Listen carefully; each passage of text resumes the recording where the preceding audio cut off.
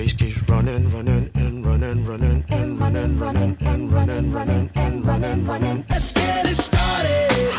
Let's get it started in here. Let's get it started. Let's get it started in here. One of the reasons why I strongly recommend joining the USA Ambassador pageant is because you get to be the real you. You're turning heads when you walk through the door. This pageant system is based off of who the person is inside and not just a face, a pretty face, or a nice body. But this pageant inspires women, motivates all young ladies to be the very best versions of themselves. Baby, you light up my world like nobody else do. I love this pageant because the Fambassador family is so sweet to me, so fun to be around. Like it's just been a dream come true to me. And it's just amazing that I get to do so much with just one fashion crown. Always remember to be yourself and to have fun out there.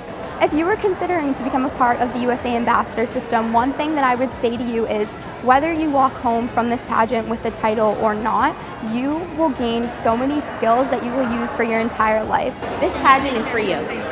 For